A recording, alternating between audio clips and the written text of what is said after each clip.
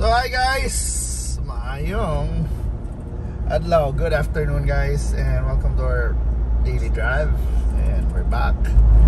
And today we're gonna talk about Sona. So nag-Sona si BBM yesterday and oh, daghan sa tuloy siya gisulti, daghan sa mga pakpak. But most especially ang iyang kuan ang iyang pahunong ang Pogo. Oh, di ba? Ang Pogo yung punteriya. Oh, di ba? And I guess I don't know kung mahitabo ba na o unsa basta he's giving, you know, until this the end of the year to, you know, to clean it up, to ban the pogos. So, ay, like, istorya ng taghapon about gambling, di ba na? How accessible gambling is na karon na na cellphone na na Gcash. Pero mana, gisulti na gid sa presidente na uh, kuan siya. Uh, na siya stand ana na ipahunong na niya ng mga pogo pero mao lagi na nako na kuan. Na yung mga tao na niingon ana na unsa lang pogo? Kay pogo man ang ipahunong pero eh, ang lahi naman ang ngan sa ubang kumpanyero they have what you call internet gaming license. So pareho ba na sa pogo? Or dili? So so I think para na ako gihapon I think in the end gambling is here to stay. Hiling ni tagsugal tanan So, so it will be some, in one way, some form yun na, mawa na na. Pero I don't know katong pogo na setup na kanating uh, na adring online gaming or casino nila. Uh, I don't know, unsa man na katong naipariho ng mga tao na magsugal. Nakatingali pero uh, na, hopefully ma, ma-clear up na, na the next few days. Unsa nila pasabot na ipahipos, ipaban. Of course, the industry, in a way, the industry has a lot of workers. Namgi mga influencers, ana na, gi, gi, advocate kay Sogal, di ba? Dako kay mga sweldo, dako kay mga gaming content, basketball content, suksukan na pusta-pusta, oh, di ba? Uh, kita wata na, na ini-offer na sa una, pero di, weird bansa na may usa ta mga on taya sa ta sa online casino. Kuya so na kung di gina di masuod sa atong content. But but mao na. Um isulti na ang presidente sa iyang baruganan. Ano na tuon sa tabo. Oh by the way na kuyaw kay na issue sa DI oh, so speaking of President BBM there's a video kuno nagikalat kuno sa tara akbang ng mga maisog. Man kay naisog ang hakbang maisog kay di sa ganang gira kuno hay pero mao na nako no gi pakalat no na video uh, making the rounds. I don't know kinsa gid bitawan ko kay uh, basta na mga movement man ng kuan na marabag uh, na murag in a way anti Marcos pero lagi pagawas the video I don't know kinsa source ana na na nagsuyop kuno bongbong. Adi ni suyop nag cocaine ha? Snip snip sa ilong. I don't know kung ay ningon yung mga tao sa fake video pero nasa ningon na siya kay parehong nagnaong oh so so di sa kita kibaw. Unsay tinuod na pero that's a serious allegation. Yan itubag pa yun si president a former president PRRD na ang iyang buhaton ko no magpa-drug test. O di ba? Mga ko rin pinakasayo na buhaton. Magpa-drug test. Na ko mga follicle test diha na tanaw na to kung naabagi drugs to quell those issues. Pero I don't know. Kumingon sa ba uh, nawa man na sa itong balaod tingali kung uh, walang ba? Muhingon lang ba? Uh, sa balaod na to wa man nagibutang gud na drug user ang atong mga politiko. O gid nas balaod na to bitaw. O di ba? Mas pay pang mag-drive ko na di ka taga-lisensya na. Wow, kay nag-drugs ka pero hindi mga mudagan ganit hindi bisa ka addict di ka. Mambuds balaod na na must have negative drug test so that's umaw na wasay. In the end wasay point na magpa-drug test. Drug test na masakyan ako ilang kung ako sa BBM masakyan ako ang ilang whim ang ilang mga mga crazy ideas. Yeah.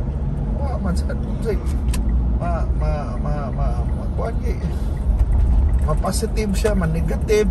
Uh, daghan kay kuan na ingnon bagi siya pag live drug test? Uh, wala man nag-embarrass ni mga tao kasi di gid siya what if wa siya sa mararamang ka nag ako nang patuya patulan ang inyong issue na gi tumo, di ba? So, I don't know, di isa lisod sad, oh, di ba? Di ba? Sa, sa ka presidente, kuan man raman ila, di man. Health check naman, oh, by the way, si Biden, eh, Joe Biden, oh, sige, um, ni, ni, ni withdraw na sa iyang re-election bid kay Oh, lagi idara na sa siya na his debate performance was bad na nakita yun ang iyang edad o so man ang normal na i-test man lang kuan man ng physical check up ra ng presidente wa man ay moingon na kailangan nga drug test ka. O di ba? Oo ako yaw dito si uh, drug test si kuan na um, si former president uh, ankon mo siya nag-fentanyl siya fentanyl. Oh, that's menace gina sa states ng fentanyl. May mga matay na tao tungod ana. Oh, but, manay ko ana na ba na? Well see. I don't know. Say say ko ana na. Kapadungan bitaw na yung mga issues. Nagihugong-hugong against Marcos pero I guess in the end para lang nako kung ano na ninyo. Uh, the best judge would be elections. Diba? Election ta karon. That's a memorandum. Ko ana ba? Referendum. Memorandum. Referendum na. Kang bongbong kaning election karon for senate kaning local elections. O kung nakauyon ba mo niya? Kinsa ni mga manuka? Although mao sa ling elections sa Pilipinas. Uh, bali-bali naman sa mga paling-paling karon niya to mga ano ba mga partido-partido. But still if they gonna run under the banner of Marcos I know there's a a team or a lineup that's gonna be run under the banner of our VP Sara Duterte or the Dutertes makitang scatter as they call uh, we call it. Makitang katag. Oh, diba uh, dito ta magsangka sa election no? That's barely ano lang. Uh, 10 months so di ba? 10 months na lang. Election na. Oh di ba? So So katong mga ganahan managan, oh, pag andam na mo, and hopefully bo ni they will carry their one the, the the the the philosophy that they want, the vision that they want na kinsa kung kuan ba sila pro admin ba sila kang Marcos ba sila or opposition sila kung kinsa man ilang opposition kung uh, we are in a multi-partner system so kung uh, dilawan ba mo pink lawan unsa na green lawan so ba? O na. Election ta, o di ba? Makitang katag, dire. Kung kinsa gyud, o so mga senators puro ni opposition, uh, let's say kato pareho tong Gloria kitay um, President Gloria Arroyo, um, Gloria mga GMA, President GMA. In her time, o di ba? Imagine sa dito to siya pag elections, imagine giboto nila, gi-elect nila si Trillanes which is really kuan ba a, a slap in the face na pasabot pag ikaw yun mga Pilipino ni mo kay limang kang astang pinaka kontra na yun rebuild na nagkudita na oh, presyon ni nasa priso ha na git ni daog so na may pasabot ana di ba? Dito a referendum na wow mas naminaw pati yung mga tao mga rebuild dito. So manay point ana ba na? Karon o mudaog kita kita let's say mudagan yun ang naiusa ka Duterte na mudagan. Dito lang walang maing katong balak lang tulo. Let's say na usa ka Duterte or even the Duterte re-electionists like Bongo and Bato de la Rosa what if they place well di ba? So it's also uh, a a message to the Marcoses to the administration na uh, well enjoy your last three years because I think ang mga tao dool ang kasing-kasing nila dito sa mga sa inyong inyong kontra. O di ba? Eh, or or what if it's the other way around? Ma let's say ma 13-0 na or 12-0 na. I don't know kung anggara na slot ba na ano ba let's say 13-0 or 12-0 sa kanya na ba? Paadto tanan sa pro Marcos candidates. It's also a message to the Dutertes na hey man na inyong oras. The time your time ano ba? Past na mo. Hindi na mo makuan oh, di ba? So dihan na to makita. Oh, and of course sa local elections may, many elections sa definition although national implications but na may mga elections na yung ana what if let's just say na suportahan si Marcos na mudagan dito sa Davao yung mudaog di ba? That's a big coup. But also na daghan mo sa nung local elections na marag local issues yun ang ang ilugan ay pakislas national for example atong mga dagan ri sa Cebu City, Mandawi City, Lapu-Lapu City na ikang nga hugong-hugong na all are gonna be competitive races. O, di ba? It will be competitive. O, di ba? So, we will see. So, mana, saan taman nito? O, di ba? O, so, so, wala na, we had our third state, state of the nation address ni President BBM. And I don't know, kung ako, kamo akong pangutan noon, did your life improve ba uh, in the last 3 years? O di ba? Uh, pero mauli ito akong giingonadaan before the election. Normally ang floor og ceiling so atong mga presente dili ginataas. So gamay ra na increments. So we'll see. O di ba? So hopefully uh, of course uh, this is a State of the Nation address.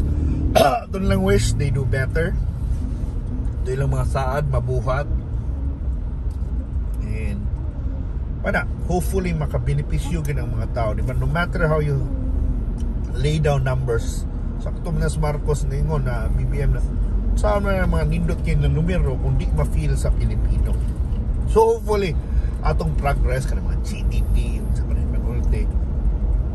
will be felt will be felt by Filipinos. Especially the ones na kanang nagpuyo sa countryside di ba? May nindot naman na sa syudad unsa pero kanin sa probinsya ba? Kahit pa paano kanin Cebu probinsya na tas Manila di ba? We have to feel the national government we have to reap the benefits unsay mga mga proyekto mga mga benepisyo na ipanghatag sa atong national government. And hopefully mo na, malay mahitabo, we have a better governance, a government na, na mapafeel na to, na has a heart, at na makabenefit yun ta. O, di ba? Sakto mo na, I've listened to mga PhilHealth, di ba, that they're now expanding coverages, apin lang cancer, for example, itong breast cancer, 1.4 million ang coverage. That's so nice, that's good.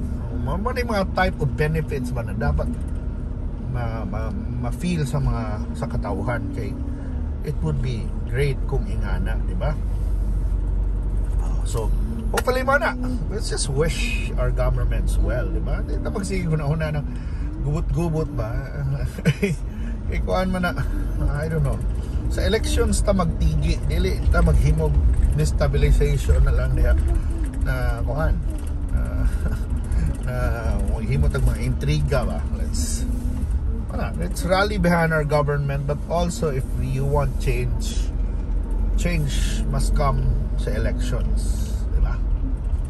So I hope to see you na sa sunod ng laglag. Bihay I'm so glad na nakasuroy-suroy na sa ta thank you so much for watching. Bye bye bye